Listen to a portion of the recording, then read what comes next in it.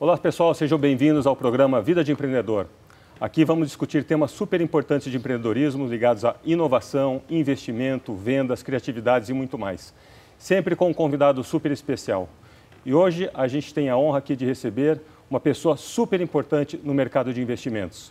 A gente está falando com o João Kepler, fundador da Bossa Nova, hoje diretor. João, prazerzaço estar aqui com você. Valeu, Fernando, muito obrigado, muito bom estar aqui com você. João, falar de investimento envolve uma série de complexidades, variáveis. Vamos para o começo. Conta um pouquinho da sua trajetória até a gente chegar o que é hoje o João Kepler, investidor anjo do Brasil e junto ao trabalho da Bossa Nova. O João Kepler é um empreendedor.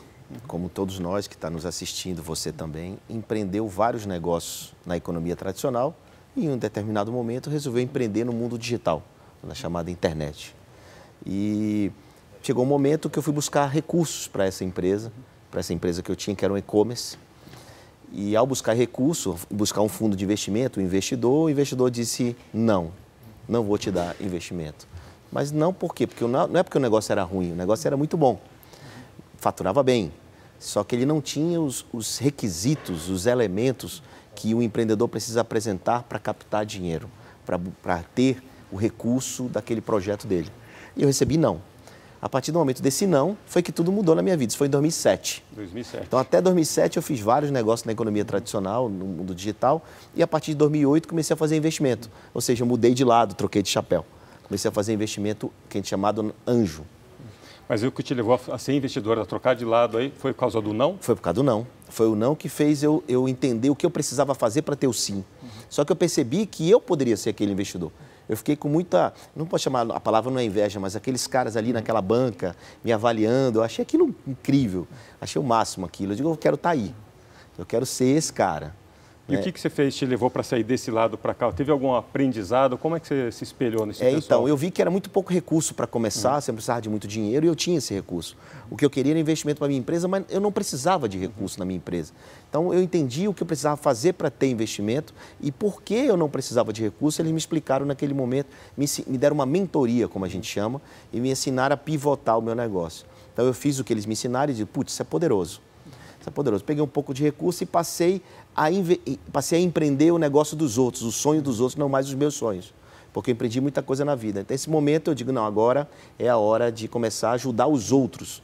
Então, em 2008, comecei a ajudar uma empresa, outra empresa, duas, três, quatro. Comecei a investir um pouco de dinheiro, porque investimento anjo, né, esse chamado smart money, ele é muito mais do que simplesmente o dinheiro. Ele, você ajuda com know-how, com apoio, com informação, com mentoria, mentoria network, network, conexões. E aí comecei a fazer isso.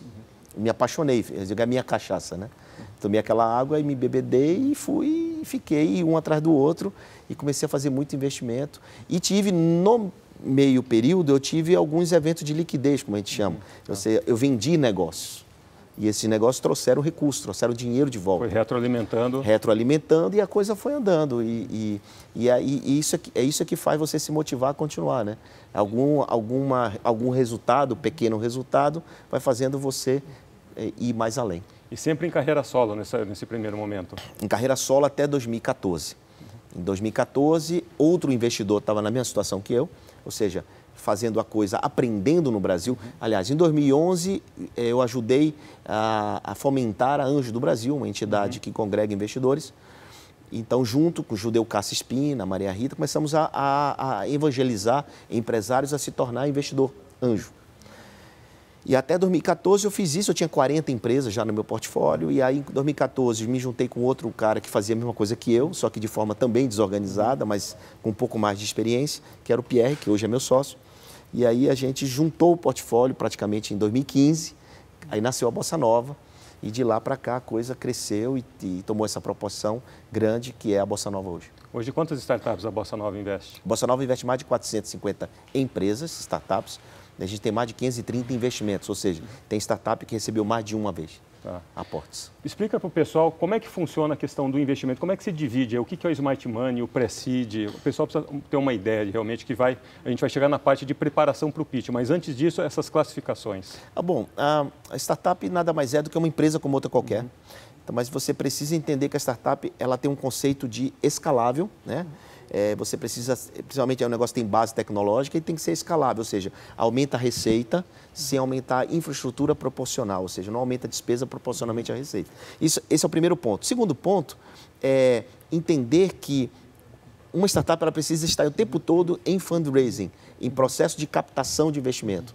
Então, é, e tem várias fases de investimento. Então, a primeira fase é o chamado, é, são as aceleradoras, as incubadoras, o dinheiro do próprio uhum. bolso, a família, os amigos que te ajudam. Depois vem o investor anjo, depois vem o pré-seed, que é um dinheiro é, depois do anjo, aí seed, aí vem os venture capital série A, série B, série C, série D e vai até o IPO, que é quando você é, lança suas, abre publicamente as suas ações na bolsa de valores. Seria o ápice de qualquer empresa. É o ápice de qualquer empresa. Então ela chega até o IPO em 10 anos. Uhum.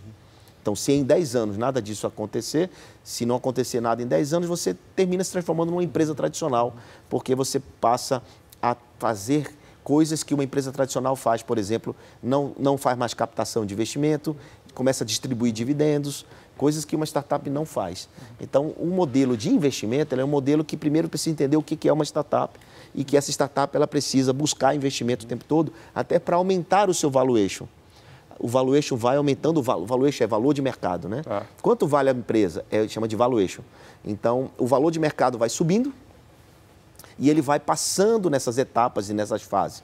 E o que acontece com o investidor que entrou antes, ele ou acompanha a rodada ou ele diminui o percentual dele e, ou então ele sai da operação, ou seja, alguém compra o, a participação dele.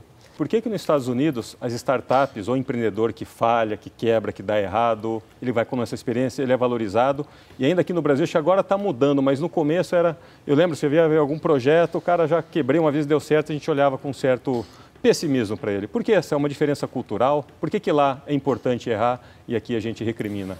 Olha, primeiro que errar, o, o, o americano entende isso como aprendizado, né? entende isso como experiência, como track record, como eles chamam. Uhum. Aqui no Brasil, infelizmente, é fracasso, carimbo uhum. de fracassado. Isso tem mudado.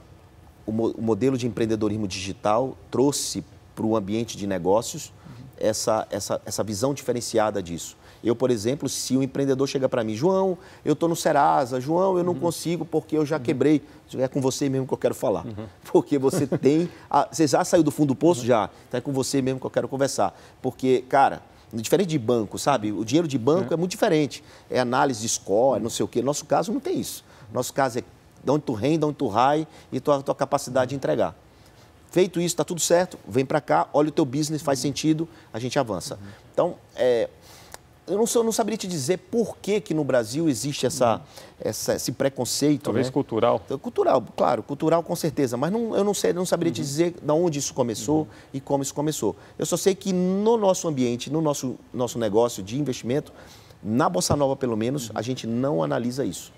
A gente ah, mas se, se a pessoa está no Serasa e não for má fé, a gente investe nele. Tá.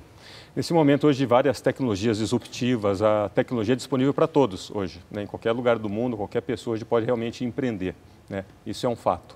A hora que a pessoa vai começar a empreender, infelizmente hoje no Brasil, muitos investem pela necessidade e não pela oportunidade. Empreende, no caso, né? É.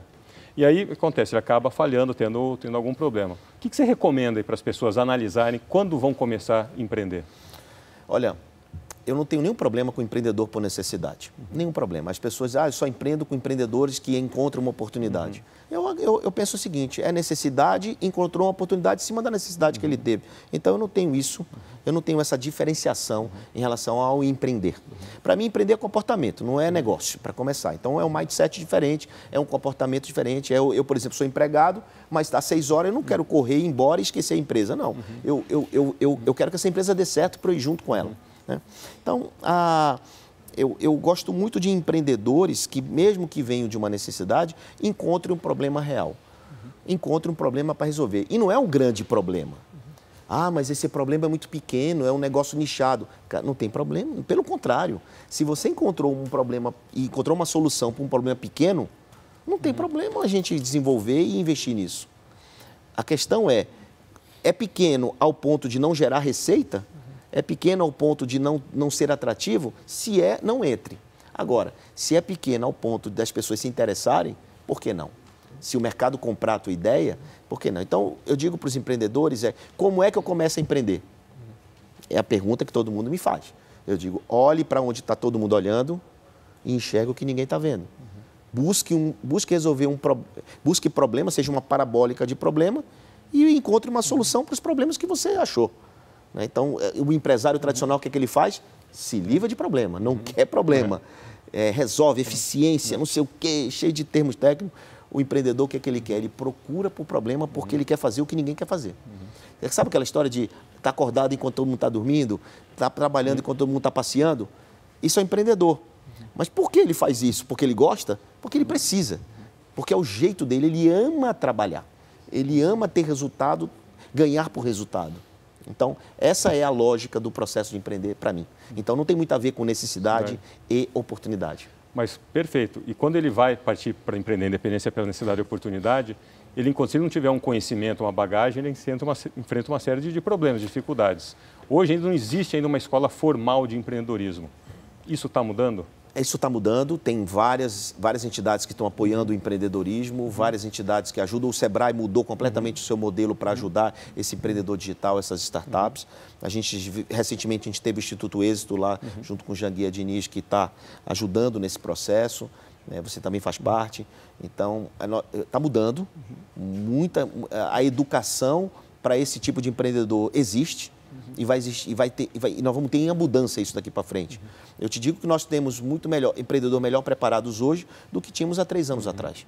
Se você olhar para três anos atrás, os empreendedores não sabiam o que era um, não tinha, não tinha uma literatura como Smart Money, por exemplo, não tinha uhum. conteúdo disponível para ele. Fonte de informação para. Fonte de informação e que hoje existe. A diferença hoje é que a informação que existe, muitas vezes, empreendedores leem, mas não aplicam que é muito diferente informação de conhecimento, uhum. né? Então, informação é uma coisa, conhecimento é outra completamente diferente. Então, quando eu converso com um empreendedor, eu quero ver se ele tem o um conhecimento para poder tocar o projeto dele, não só a informação. O que é, que é informação? Uhum. Aí, jargão técnico, é cheio de termo técnico, cheio de coisa, mas e aí? Na prática. Na prática. O que, que você sabe fazer? Qual o seu conhecimento? O que, que você já fez na vida? Nada? Tá bom. E outra coisa que me, acontece muito comigo. Ah, eu preciso de 200 mil para o meu projeto. Beleza, mas você está aqui com uma caneta bonita, um, carro. Você já vendeu tudo que você tem para investir no seu negócio? Não. Então vende e vem falar comigo. Porque se, você, se o cara não acredita, né, Fernando? No seu próprio no negócio. próprio negócio, por que, que o outro uhum. vai acreditar, né? É muito comum né, a gente pedir dinheiro dos outros sem realmente esgotar todas as suas possibilidades, Possibilidade. oportunidades. Você tem que mostrar que botou tudo que você, uhum. você acredita que botou uhum. tudo naquele negócio. Só, só depois disso que você validou e investiu tudo que você podia, que você tem que pedir dinheiro de terceiros. Ah, mas tem gente que, que consegue é, investidor no PowerPoint. Beleza. Você é Michael Jordan? Se o Michael Jordan chegar para mim com um PowerPoint e dizer vou montar um time de basquete, de onde é que eu assino? Uhum. Porque é o Michael Jordan. Então, se você não for o Michael Jordan, o Flávio Augusto, ou seja lá quem for, você tem que ralar, você tem que mostrar que você vai entregar, você tem que validar. E é validando que se aprende. Validação não é uma pesquisa, validando é o primeiro cheque. Uhum. É o cara pagando, né? Perfeito. Bom, pessoal, a gente vai para o break aqui, daqui a pouco a gente volta com mais insights aí do João Kepler.